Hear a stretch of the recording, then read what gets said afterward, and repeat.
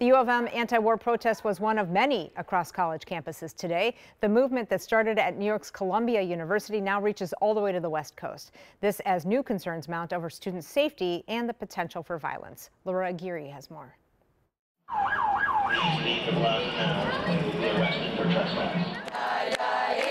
Communal. About some matzo ball soup.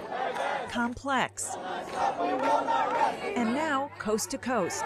Pro Palestinian protests demanding an end to the war in Gaza taking root on college campuses across the U.S. A lot of people have been galvanized and inspired to join us. Pro Palestinian supporters have condemned university crackdowns on their demonstrations and free speech. Meanwhile, escalating anti Semitic incidents have left many students, mostly Jewish, fearing for their safety. Still, Jewish students at Columbia hosted a Passover Seder Monday evening for everyone, regardless of faith or political views. On Passover, it's important to stand up for oppressed people everywhere, whether they're Jewish or not. There remains a keen awareness of potential violence, and the NYPD says it has received several reports of harassment.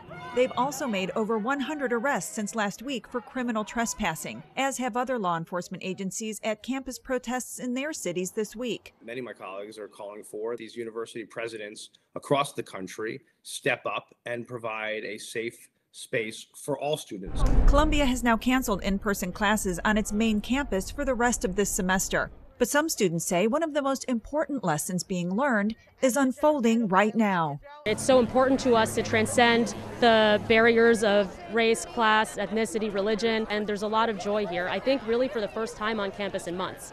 I'm Laura Aguirre reporting.